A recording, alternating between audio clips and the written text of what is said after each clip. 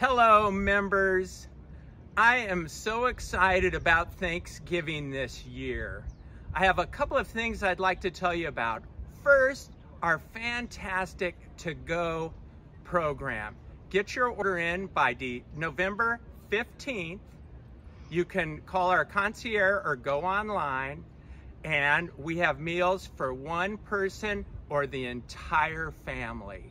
The other thing I'd like to remind you about is the AFAF will be having their Thanksgiving for the military troops at the base this year, just like last year.